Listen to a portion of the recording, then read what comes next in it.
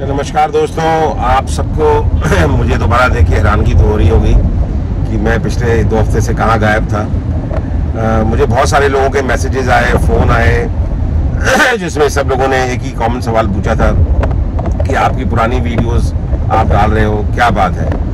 तो पहले तो लोगों ने कुछ नेगेटिव कमेंट्स भी करे और उसके बाद फिर लोगों को लगा कि शायद पता नहीं क्या बात है कि किस लिए ये रिस्पॉन्स नहीं कर रहे। तो फिर उन्होंने लिखा कि क्या हो गया? लगता है आप कुछ छुपा रहे हो या और मैं वाकई आपसे छुपा रहा था।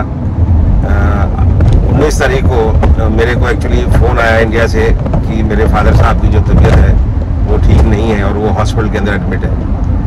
और मुझे फ़ौर अपनी मिसेस के साथ ताशकंद से इमीडिएटली वापस आना पड़ा।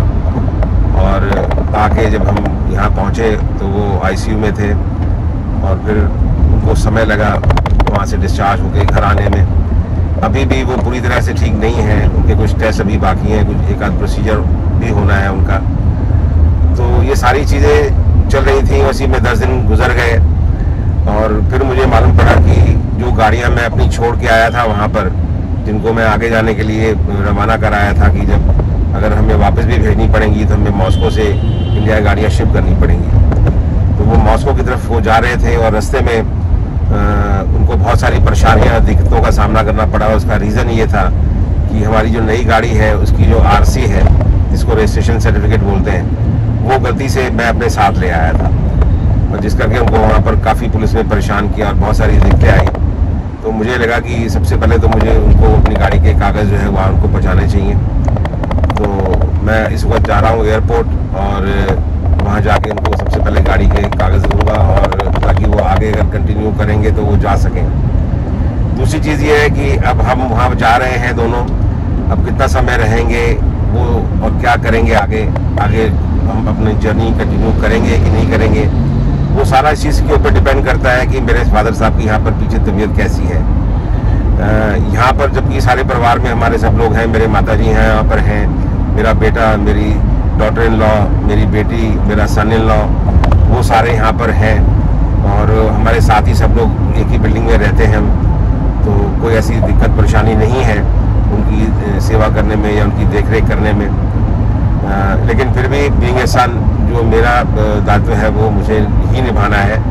और ईश्वर ना करे ऐसी कोई अगर कोई प्रॉब्लम होती है आ, या कोई भी ऐसा इमरजेंसी है जिसमें ज़रा सा भी मुझे लगेगा कि मेरी आने की ज़रूरत है तो I am just couple of hours away क्योंकि रशिया हो या यूरोप हो छः से आठ घंटे की फ़्लाइट है, आप सीधा पहुँच सकते हैं। तो मैं ज़्यादा दूर नहीं हूँ और जब भी उनको मेरी ज़रूरत होगी, मैं फ़ौर पहुँच सकता हूँ। वहाँ जाके अगर हम इस ट्रिप को कंटिन्यू करेंगे तो फिर आप हमारी जो वीडियोस हैं, वो नई रोज़ देख सकेंगे और यकीन दिलाते हैं कि वो वीडियोस अब सब नई होंगी, अच्छी होंगी और वो सब करंट मसले के ऊपर भी हम बात करेंगे। जो करंट वीडियोस होंगे वही दिखाएँगे। तो ये थी एक बात, और दूसरी एक और इंपॉर्टेंट चीज़ थी कि कुछ लोग जो मेरे साथ जुड़े हुए थे, जो आगे कंटिन्यू कर रहे हैं, कुछ वापस आ गए हैं तो उनका भी सब कुछ मेरे को देखना है, उनका अकाउंटिंग भी देखनी है। तो वो मैं वहाँ बैठ के और जिस जिसका जो भी हिसाब किताब है, वो वहाँ बैठ के ही करूँगा। और यहाँ पर मेरा बेटा है so he take care of it so so, उन लोगों को भी मैसेज मैं देना चाहता हूँ आप लोगों के द्वारा।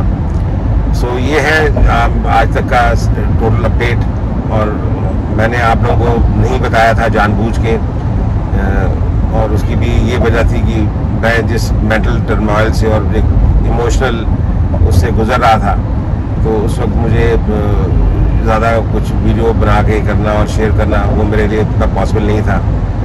जो आपने वीडियोस देखी हैं पुरानी उसमें भी बड़ी मुश्किल से मैंने खाली अपना वीओ भेजा है अपने एडिटर को ताकि एक लिंक एक कंटिन्यूशन आप लोगों के साथ बनी रहे सो ये वजह थी जिसकी वजह से मैं आपसे बातचीत नहीं कर पाया और आज आई एम बैक और उम्मीद करता हूँ कि मेरे पिता अभिषेक ठीक रहेंगे और मैं आपके लोगों के साथ बना रहूँगा जुड़ा रहूँगा और आप रोज़ नई वीडियोज़ देखते रहेंगे Thank you so very much.